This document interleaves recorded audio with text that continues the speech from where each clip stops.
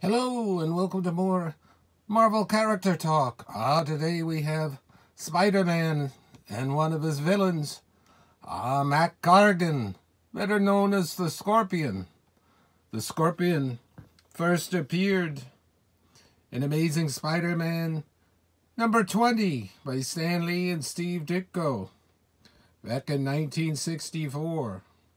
Ah, very nice. Uh, Marvel HeroClix here, the Spider-Man. This one's from 2012. And uh, this particular Scorpion is from 2016. Uh, let's bring them forward and take a look at them a little bit. Uh, very nice. Oh, it's got an anti-spider symbol there.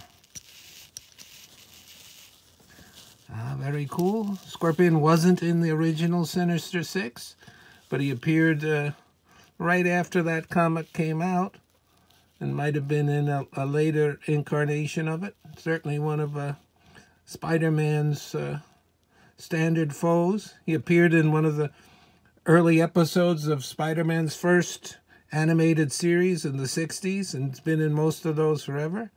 And in the newest one, we have a sort of a cameo promise of a scorpion in the MCU. Uh, Take a look at him here with his deadly tail.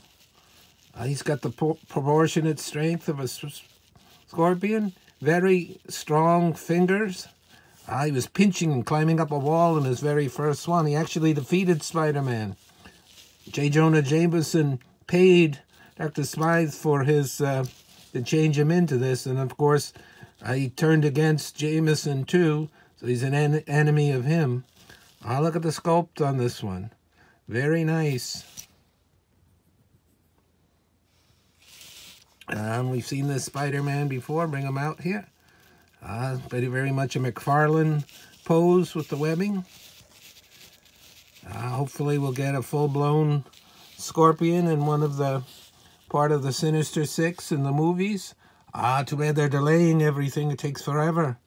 Uh, we'll see what we get soon. All right, that was Marvel Character Talk. Some nice HeroClix.